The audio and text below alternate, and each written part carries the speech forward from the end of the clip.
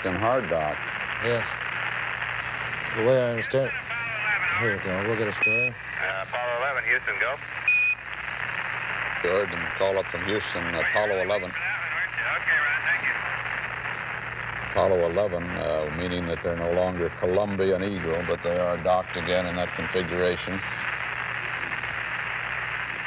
Almost everything yet to be done by the Apollo 11 astronauts had been done earlier by Apollo travelers, but one thing was wonderfully unique.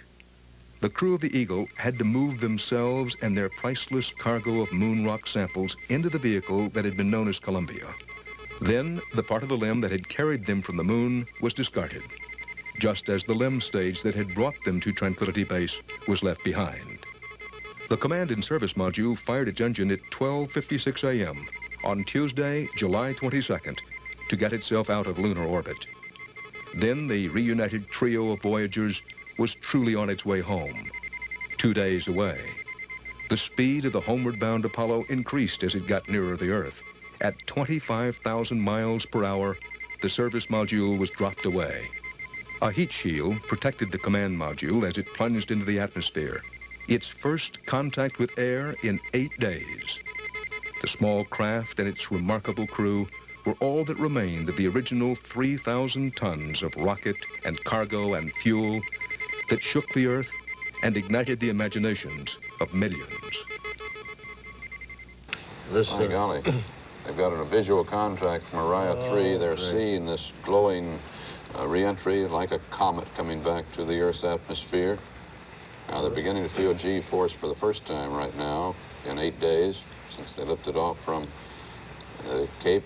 At least Mike, we can say that about Mike. The other two felt some G. Well, that's right. That's yeah. right. Yeah. One six G. Forgot about their going to the moon surface. Yeah. I don't mean I forgot about their going to the moon surface. Take it back. Second eleven. This is Hornet. Hornet. Over. Apollo one. Dave. Apollo one. Reach the last clear. Hot dog. Station one three three zero six nine one five. There they are. And they're obviously all right. The chutes have deployed. Aircraft has visual on the chutes.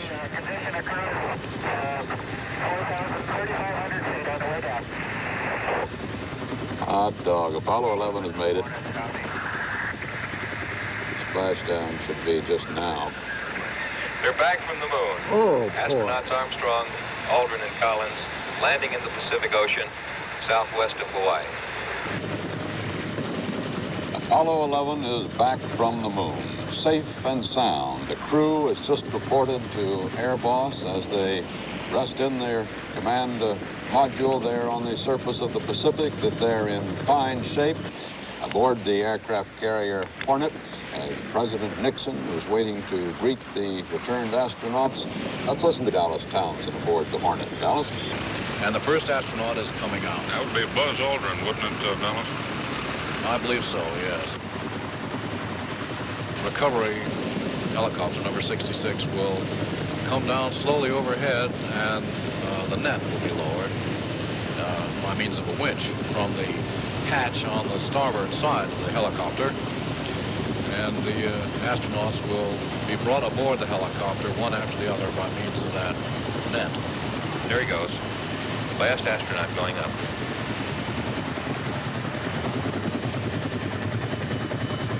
Astronaut is now in the helicopter. The door is closed. The helicopter is uh, going to come back to the ship now. This is the first time in history that the President of the United States has been on board the recovery carrier to greet the returning astronauts. Recovery complete. Shut down. Have all your prayers been answered? Yes. I would like to say to the President, to the Presidents of the United States, President Nixon, President Johnson, President Kennedy, to all of NASA, to all of the contractors that have helped to make this flight successful, to the astronaut crew, to the men, the three men who made this historic flight, and to all the peoples of the world, we thank you for everything, your prayers, your thoughts, just everything. And if anyone were to ask me how I could describe this flight, I can only say that it was absolutely out of this world. Dr. Carpentier slides it open, and here they come. Man's dream and a nation's pledge have now been fulfilled. I believe that this nation should commit itself to achieving the goal before this decade is out of landing a man on the moon and returning him safely to the earth. No single space project in this period will be more impressive to mankind or more important for the long-range exploration of space, and none will be so difficult or expensive to accomplish. The lunar age has begun. We may hope, but we should not believe in the excitement of today that the next trip or the ones to follow are going to be particularly easy. But we have begun with a small step for man, a giant leap for mankind, in Armstrong's unforgettable words. In these eight days of the Apollo 11 mission, the world was witness to not only the triumph of technology, but to the strength of man's resolve and the persistence of his imagination. Through all time, the moon has endured out there, pale and distant, determining the tides, a tugging of the heart, a symbol, a beacon, a goal. Now man has prevailed. He's landed on the surface of the moon, he's stabbed into its crust, he's stolen some of its soil to bring back to a, in a tiny treasure ship to perhaps unlock some of its secrets. The date's now indelible. It's going to be remembered as long as man survives. July 20th, 1969, the day man reached and walked on the moon. The least of us is improved by the things done by the best of us, because if we are not able to land, at least we are able to uh, follow. Armstrong, Aldrin, and Collins are the best of us, and they've led us further and higher than we ever imagined we were likely to go.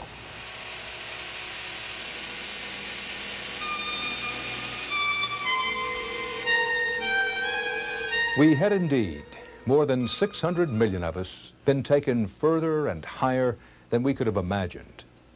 And now we know some things we didn't know in those summer days of 1969. In his masterful takeover of the controls, Neil Armstrong landed the Eagle with something less than 10 seconds of fuel left. He and Buzz Aldrin were that close to a probably disastrous crash.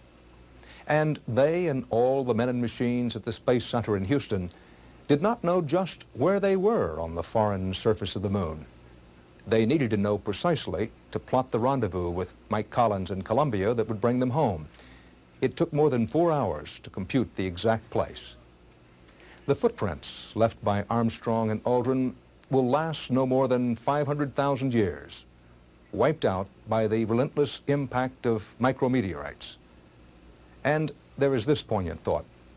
No one, not even the explorers themselves, heard a wonderful crunch of their boots in the sandy environment where there is no atmosphere to transmit sound.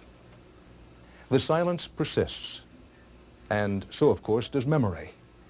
In time, shared memory is known as history. Surely, we shared something grand. Liftoff. We have a liftoff. What a moment. Man on the way to the moon. Houston, uh, Oh, jeez. Tranquility Base here. The Eagle has landed. That's one small step for man. One giant leap for mankind. They're back from the moon.